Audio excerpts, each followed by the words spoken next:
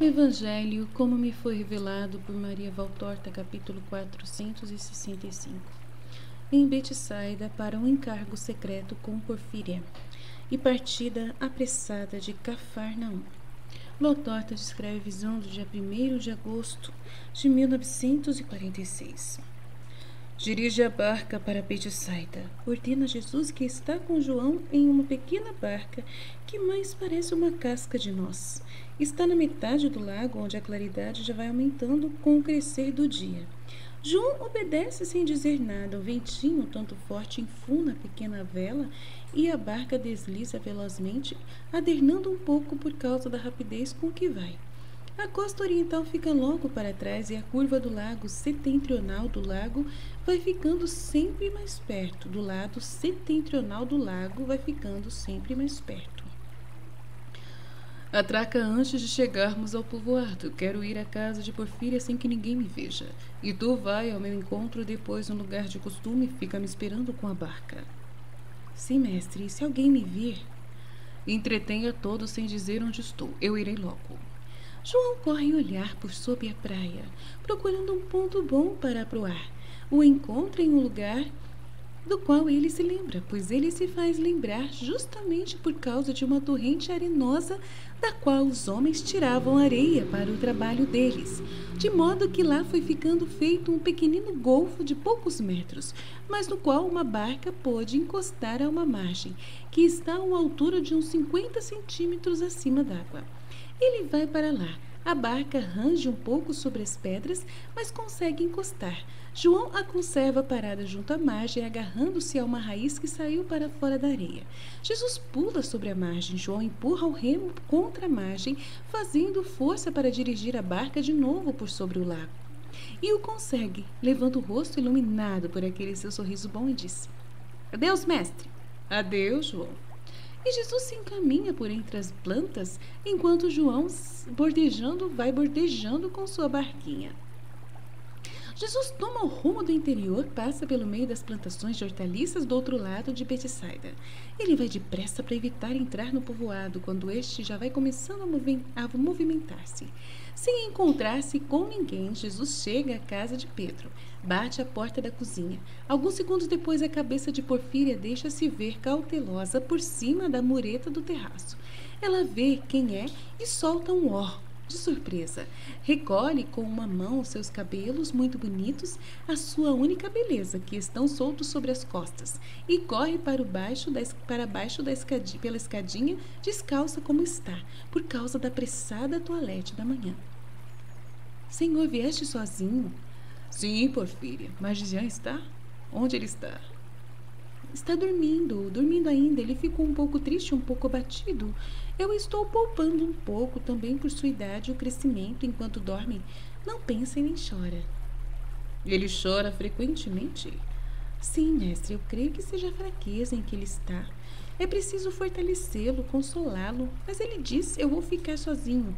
Todos aqueles que eu amo vão-se embora. Quando não tivermos mais Jesus. Diz isso como se estivesse para deixar-nos. É verdade, ele tem sofrido muito em sua vida, mas eu e Simão o amamos, amamos muito. Podes crer, mestre. Eu sei, mas a alma dele sente, Porfíria. Eu preciso falar-te justamente dessas coisas. Por isso é que eu vim sem Simão a uma hora destas, aonde podemos ir para falarmos de tal modo que Margisian não nos ouça e que ninguém nos incomode. Senhora, não tem outro lugar senão meu quarto nupcial ou então o quarto das redes. Lá em cima está Magizian e eu também estava lá, porque para fugir do calor fomos dormir lá em cima. Vamos para o quarto das redes. Fica mais longe e Magizian não nos ouvirá, ainda que acorde. Vem, senhor. Porfíria vai guiando pelo rústico salão, que é, um, é, que é o entulho com um pouco de tudo. Redes, remos, provisões, feno para as ovelhas e um tear. Porfíria se apressa para em desentulhar uma espécie de mesa que está encostada à parede, atirar a poeira dela com um chumaço de estopa a fim de que nela o mestre se assente. Não se incomode, mulher, eu não estou cansado. Porfíria levanta seus humildes olhos para o rosto abatido de Jesus e parece estar querendo dizer-lhe: Sim, eu sei, mas ela, habituada a calar-se, nada fala. Escuta, Porfíria, tu és uma boa mulher e uma boa discípula. Eu gostei muito de ti desde que te fiquei conhecendo, e com muita alegria te escolhi como discípula e te confiei o menino. Sei que tu és prudente e virtuosa como poucas. Sei que sabes calar-te. É esta uma virtude raríssima nas mulheres. Por todas estas coisas é que eu vim falar-te em segredo. Contar-te uma coisa que ninguém sabe, nem mesmo os apóstolos, nem Simão. Eu te conto porque eu preciso dizer-te como é que deves proceder para o futuro com Margisian e com todos. Eu tenho certeza de que tu irás contentar o teu mestre no que vou te pedir, que serás prudente como sempre. Porfíria, que ficou vermelha como uma púrpura, ao ouvir o elogio do seu senhor, só fica fazendo sinal de que sim com a cabeça. Muito comovida, ela que é tão tímida e habituada a ser sempre pressionada pela vontade dos prepotentes, que lhe impõem suas vontades sem saberem se ela está disposta a consentir. Está por demais comovida para ser capaz de responder com palavras que consente. Porfíria, eu não voltarei nunca mais a estes lugares.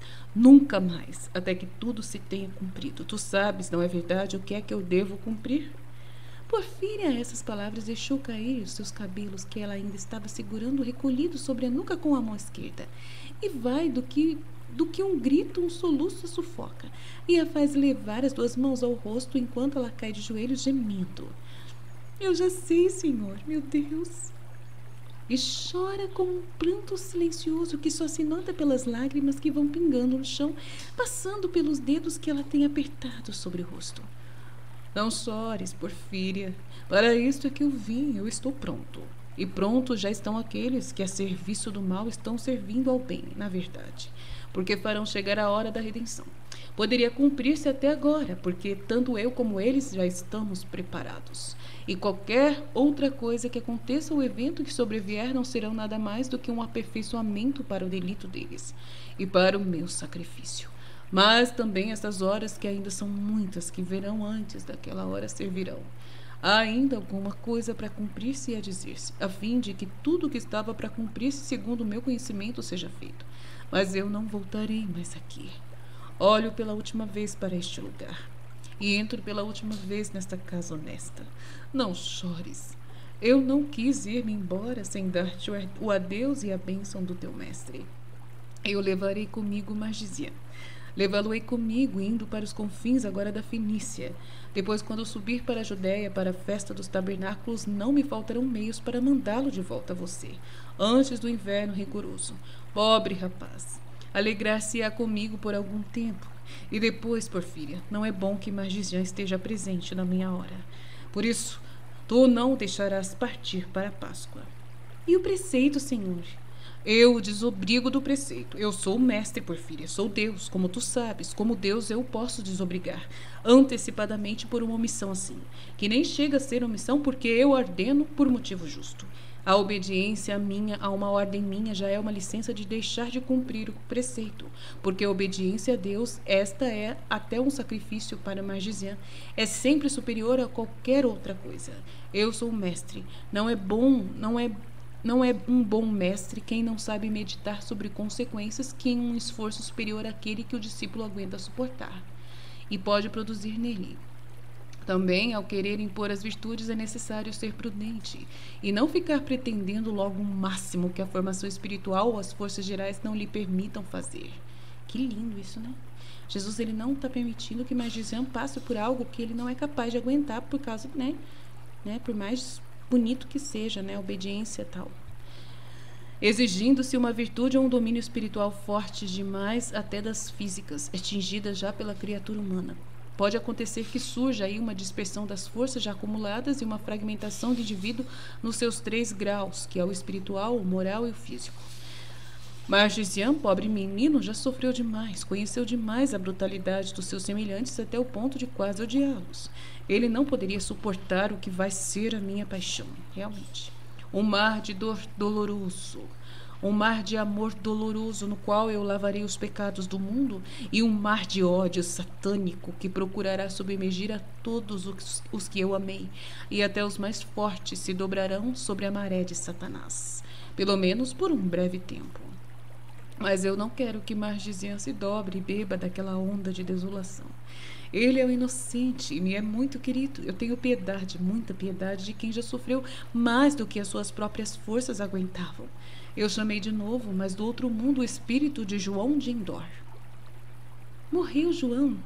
Oh, Margisian havia escrito muitos rolos para ele. E vai ser mais uma tristeza para o rapaz. Eu lhe falarei da morte de João. Eu dizia que o tirei desta vida justamente para preservá-lo do abalo emocional daquela hora. O próprio João de Endor já havia sofrido também muito da parte dos homens, por que despertar sentimentos que estavam adormecidos? Deus é bom, ele prova os seus filhos, mas ele não é um experimentador descuidado. Oh, se os homens soubessem fazer assim como Deus, como seria menor o número das ruínas dos corações, como também simplesmente quanto menor seria o número de perigosas borrascas nos corações. Mas voltando a Margisian, ele não deve ir à futura Páscoa. Por enquanto, tu não lhes falarás, tu não lhe falarás nisso. Quando chegar o momento, sim, tu falarás. Assim, o mestre me deu a ordem de não mandar-te a Jerusalém, e ele te promete um prêmio especial se lhe obedeceres. Margisian é bom e obedecerá. Porfíria, isto é o que eu quero de ti: o teu silêncio, a tua fidelidade e o teu amor. Tudo o que quiseres, meu senhor, tu honras demais a tua pobre serva, eu não mereço tanto. Vá em paz, meu mestre, meu Deus, eu farei o que tu queres. A dor a abate e ela se debruça com o rosto por terra. Primeiro ela ficou de joelhos, descansando sobre os calcanhares com os olhares fixos no rosto de Jesus. Depois ficou abatida por terra, toda coberta com o manto dos seus cabelos pretos, soluçando fortemente, dizendo: Mas que dor, mestre, oh que dor! O que está acabando? O que está acabando para o mundo? O que está acabando para nós que te amamos? Que é Ele para tua serva, o único, único de que de fato me amou, que nunca me desprezou, que nunca se tornou prepotente comigo, que me tratou como as outras, a mim tão ignorante, pobre estuta. Oh, eu e Magisião, porque a mim Magisião disse primeiro, depois ficamos em paz. Todos diziam que não podia ser verdade, todos, Simão, Natanael, Felipe e as mulheres deles, eles sabem disso, mas eles são sábios. E Simão, ó oh, meu Simão, se tu o escolheste, ele deve valer alguma coisa. E todos, todos diziam que não podia ser, mas agora é tu que dizes. E não se pode mais duvidar das tuas palavras. Vai morrer mesmo, né? Ela está mesmo desolada e comovente em sua dor. Jesus se inclina até poder pôr-lhe uma mão sobre a cabeça. Não chores assim. Margisião vai ouvir. Eu sei, ninguém crê em mim. Em nós, ninguém quer chegar a ponto de crer e a própria sabedoria deles e o mesmo amor deles são a causa de sua falta de fé. Não é assim? Mas é assim, né? Mas é assim. Porfíria, eu vou-me embora. Antes de deixar-te, eu te abençoo agora e para sempre. Pensa sempre que eu te amei e fiquei contente pelo teu amor por mim. Eu não te digo persevera nele, pois eu sei que assim farás. Porque a lembrança do teu mestre será sempre a tua doçura, e nela encontrarás refúgio a tua doçura e a tua paz, até na hora da morte. Pensa naquela hora que o teu mestre morreu para abrir-te o paraíso, que lá ele está te esperando. Vamos, levanta-te. Eu vou despertar Magisian e entretê-lo, e tu acaba com esses sinais do teu choro, e depois vai ao nosso encontro. João está me esperando para levar-me a Cafarnaum. Se tens alguma coisa para mandar a Simão, prepara. Lembra-te que vai precisar de suas vestes pesadas. Porfíria, uma verdadeira criatura submissa e pronta para obedecer, beija os pés de Jesus e faz o gesto de querer levantar-se. Depois, uma onda de amor a faz perder a cabeça e, enrubescendo fortemente, pega as duas mãos de Jesus e as beija uma, duas, dez vezes. Depois se levanta e o deixa ir. Baixa essa música. Jesus sai, sobe ao terraço, entra por baixo de uma espécie de pavilhão feito de velas esticadas sobre cordas, sobre o qual estão as duas pequenas camas. Mas Gizian ainda está dormindo com o rosto quase virado para baixo, comprimido sobre o pequeno travesseiro. Não se vê dele mais do que um dos pomos do rostinho moreno e um braço comprido e magro que está fora do lençol que o cobre. Jesus se assenta no chão perto da cama e acaricia levemente os cachos desalinhados que estão sobre a face pálida do adormecido, o qual faz um movimento, mas por enquanto não acordou. Jesus repete aquele gesto, depois se inclina para beijar na fronte o rosto que agora está descoberto. Mas Gizian abre os olhos. Vê Jesus ao seu lado, inclinado sobre ele. Quase não acredita, talvez pense que está sonhando. Mas Jesus o chama e então o jovenzinho se levanta para sentar-se, se joga por entre os braços de Jesus e entre eles se refugia. Tu está aqui, mestre. Eu vim para te apanhar e levar comigo por alguns meses. Ficas contente? Ó, oh, e Simão? Ele está em Cafarnaum. Eu vim com João. Ele também voltou? Deve estar feliz. Eu lhe darei o que escrevi. Eu não estou falando de João de Endor, mas de João de Zebedeu. Não ficas contente? Sim, eu lhe quero bem, mas também o outro, e a, talvez até mais. Por que, Margisian? João de Zebedeu é tão bom. Sim, mas o outro é tão infeliz e, e eu também o tenho sido, e um pouco ainda sou. Os que sofrem se entendem, se amam. Ficarias contente em saber que ele não sofre mais e que está muito feliz? Sim, eu, eu, ficaria, mas ele não pode estar feliz a não ser que esteja contigo, ou então talvez ele tenha morrido, Senhor. Ele está na paz. Precisamos estar contentes por isso, sem egoísmo, porque ele morreu como um justo. Porque agora não há mais separação entre o seu espírito e o nosso. Temos um amigo a mais que reza por nós. Magician está com duas grandes lágrimas sobre o rosto emagrecido e pálido, mas murmura: É verdade, Jesus não fala mais nada sobre o assunto nem faz observações sobre o estado físico e moral de Magician, que está visivelmente enfraquecido. Mas ao contrário, ele diz: Eia, vamos, eu já falei com Porfíria, certamente ela já preparou a tua roupa. Põe-te em ordem tu também, que João está nos esperando. Faremos uma surpresa a Simão, mas não é aquela barca dele que está voltando para Cafarnaum? Talvez ele tenha pescado na volta. É ela. Para onde vamos, Senhor? Para o norte e depois para a Judéia. Por muito tempo? Por muito tempo. Mas Gisele, animado pela ideia de estar com Jesus, levanta-se depressa, desce correndo para ir lavar-se no lago e volta com os cabelos ainda úmidos, gritando: Eu vi João, ele me fez sinal de saudação, ele está ali na desembocadura, por entre os caniços. Vamos. Eles descem, por e está acabando de fechar dois sacos e explica. Pensei em mandar depois as vestes pesadas pelo meu irmão na festa dos tabernáculos no Getsemane. Estareis mais livres para caminhar, tanto tu como, meu, como teu pai. E enquanto vai acabando de amarrar os cordões, mostra o que preparou: leite, pão e frutas. Apanharemos tudo e iremos comer na barca. Eu quero ir antes que a margem se encha de gente. Adeus, Porfíria. Deus te abençoe sempre. A paz dos justos esteja sempre contigo. Vem, Margisião. Atravessam logo o breve trecho de estrada e enquanto Margisian vai até João, Jesus vai indo para a barca e logo é alcançado pelos dois que correm por entre os caniços e pulam para a barca, movendo logo o remo para entrarem nas águas profundas. O breve, o breve trajeto logo fica para trás e eles pairam na praiazinha de Cafarnaum à espera da barca de Pedro, que está para chegar. A hora os livra da multidão do povo e podem comer em paz o seu pão e as frutas, deitados sobre a areia à sombra da barca. Simão não conhece a barquinha e por isso somente quando põe o pé sobre a margem vê erguer-se por detrás a barca de Jesus. E que ele se lembra dela. Mestre, e tu, Magisian, mas desde quando? Desde agora. Eu passei por Betsaida, anda depressa, é preciso partir logo.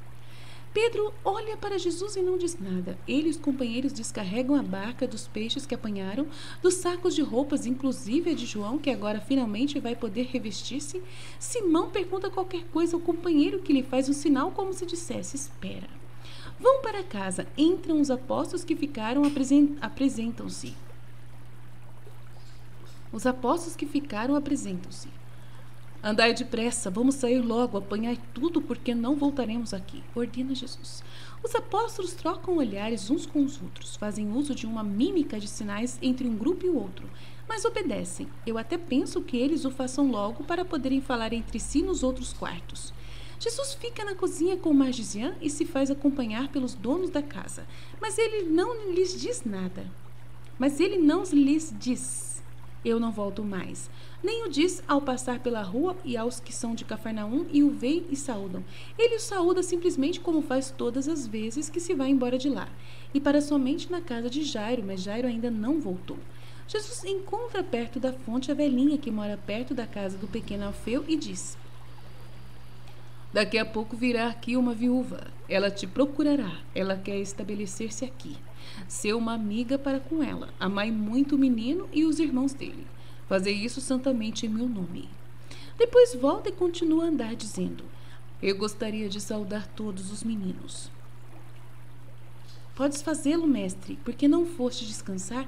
Estás muito cansado, teu rosto está pálido, estás com os olhos cheios de sono, isso te fará mal. Está fazendo calor e certamente tu ficaste sem dormir, tanto em Tiberites como lá na propriedade de Cusa. Eu não posso, Simão. Tenho que ir a muitos lugares, a alguns lugares. Estou com pouco tempo. Estão perto da margem. Jesus chama os empregados de Pedro e os saúda, dando-lhes ordens para que a barquinha seja levada para o lugarejo que fica perto de Ipo e lá seja entregue ao Saúl de Zacarias.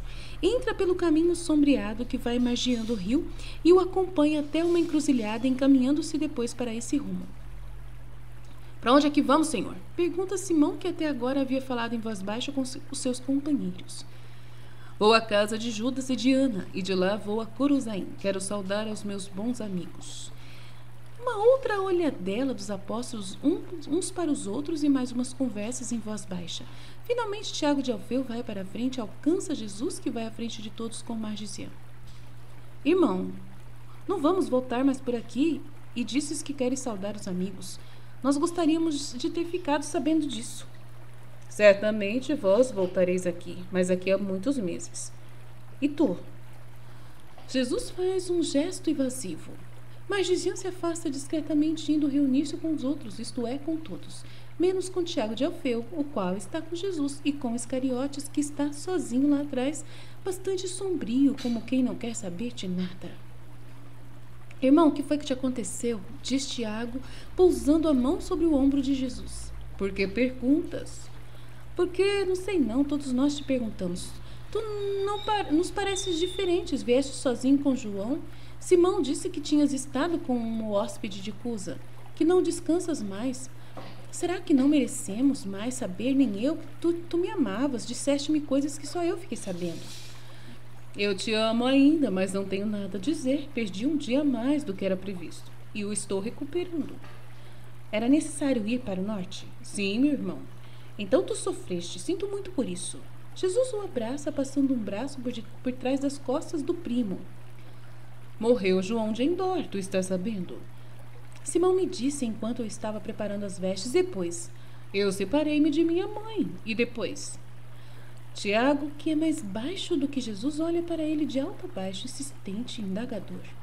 E depois estou contente por estar contigo e convosco e com Margisian. Este eu terei comigo por alguns meses. Ele precisa disso. Está triste e sofrendo. Tu viste? Sim, mas não é nada disso. Não queres dizer. Não importa. Eu te quero bem, mesmo se não me tratares como amigo. Tu, Tiago, és para mim mais do que amigo, mas o meu coração tem necessidade de repouso. E para isso tem também necessidade de não ficar falando daquilo que te faz sofrer, eu compreendo. É Judas que te faz sofrer? Judas, teu irmão? Não o outro. Por que essa pergunta? Não sei. Enquanto tu estavas fora, Judas foi procurado muitas vezes por um mensageiro que não sabemos de quem. Ele o repeliu sempre, mas. Para vós, todo ato de Judas é sempre um delito. Por que faltar com a caridade?